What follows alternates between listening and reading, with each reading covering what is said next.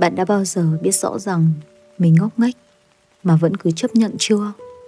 Cho dù là người thông minh đến đâu, cứ đối diện với tình cảm, tự dưng ta lại trở lên ngốc nghếch vô cùng.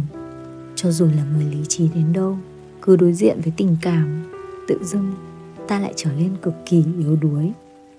Có một số người, cho dù có thể mạnh mẽ, vượt qua vô vàn những bão rông, nhưng chỉ cần nhớ đến một đoạn ký ức buồn tên một người. Lại bất giác, rơi nước mắt. Chúng ta trải qua những cảm xúc ngây thơ của những rung động đầu đời. Trải qua những nhớ nhung, hờn giận, vui buồn, những sự bất chợt của lần đầu biết yêu. Trải qua những thương tổn, những nỗi đau khi dành hết niềm tin, hy vọng cho một ai đó để đổi lấy vô vàn những mảnh vỡ của sự phản bội.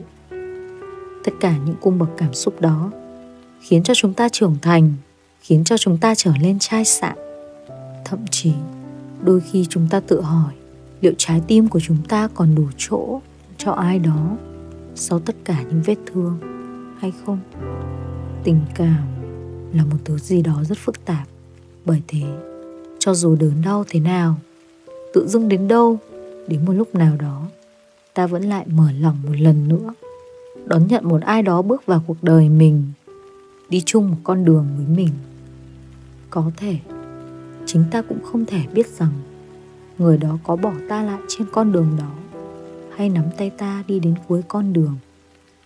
Nhưng sau những bước đi đầu tiên đầy do dự thì ta vẫn quyết định tiến về phía trước. Không phải tình cảm nào cũng có những kết thúc tốt đẹp và cũng không phải câu chuyện nào cũng là của hai người cùng viết. Có những thứ tình cảm mà mình biết rõ chẳng hề có kết quả.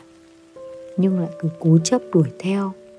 Tôi từng đọc một cuốn sách nói về những người sống ở siberia trong cảnh ngày đêm không phân biệt bởi thế mà họ cứ mãi đi về biên giới phía nam để tìm kiếm sự sống, tìm kiếm ánh sáng. Nhưng cuối cùng, kết quả họ nhận được vẫn chỉ là cái chết, không hơn. Thế mà họ vẫn đi, vẫn cố chấp, theo đuổi một câu trả lời không có thực chúng ta cũng vậy, đã từng cố chấp thương một người, nhưng người đó lại chẳng hề thương mình. Cảm giác thương một người, dù biết người đó không thể thương mình, là một cảm giác cực kỳ ngu ngốc. Biết là ngu ngốc, nhưng bản thân lại chẳng thể dừng. Đôi khi, việc tìm kiếm một bóng hình đã trở thành thói quen. Việc trông đợi một cái ngoái nhìn đã trở thành niềm mong mỏi. Đôi khi bản thân bất giác nở nụ cười phía sau một ai đó, dù nụ cười của họ dành cho ai khác không phải mình. Để rồi ngốc nghếch nhìn người mình thương thương một người khác. Cảm giác nhìn người mình thương thương một người khác là một cảm giác cực kỳ buốt nhói. Biết là đau đấy, nhưng vẫn không thể không thể ngăn cản bản thân mình để tâm. Đôi khi chỉ cần ai khác nhắc đến tên người đó lại khiến tim mình hẫng nhịp. Đôi khi bất giác cảm thấy ghen, dù biết rõ mình chẳng được quyền ghen. Người mình thương, thương người khác, bản thân biết rõ nên đã từ bỏ. Nhưng chẳng hiểu sao vẫn cố cố chấp, lặng lẽ phía sau, chờ đợi một lúc nào đó, mệt mỏi. Họ lại quay lại mình. Nhưng có những sự thật rằng, dù trên con đường ấy chẳng còn ai khác ngoài ta thì ta vẫn không phải sự lựa chọn của người đó. Thế nhưng, tôi nghĩ rằng một mối quan hệ rõ ràng vẫn là một mối quan hệ hạnh phúc hơn cả. Ví như ta thương một người, nhưng người đó không thương mình, ta có thể gọi nó bằng hai chữ đơn phương. Ta thương một người người ta cũng thương mình, ta có thể gọi đó bằng hai chữ song phương. Nhưng đôi khi, có những mối quan hệ được tạo ra bởi chính sự mập mờ, do dự của trái tim, mà đến bản thân mình còn chẳng thể định danh được nó. Có một thứ tình cảm, chẳng phải bạn, chẳng phải yêu, càng không phải người dưng, ta chỉ có thể gọi nó bằng một mối quan hệ lưng chừng. Mà cái lưng chừng thường khiến người ta dây dứt nhất.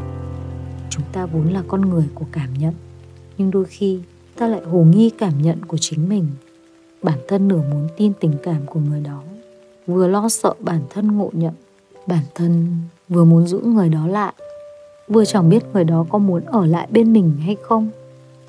Bản thân vừa muốn bắt đầu, nhưng lại sợ hãi hai chữ kết thúc. Thế rồi ta phân vân, ta do dự, ta chần chừ, ta không nói. Để rồi cái gì lưng chừng thì cũng đến lúc rơi xuống vực tự dưng ta tiếc nuối, ta hối hận, ta tự trách bản thân mình. Tại sao không kéo cái tình cảm lưng chừng ấy lên khỏi bờ vực để mà nắm lấy? Bởi thế, thứ tình cảm lưng chừng nó giống như một vết sẹo dài của quá khứ, khiến ta day dứt nhất mỗi khi nhắc lại.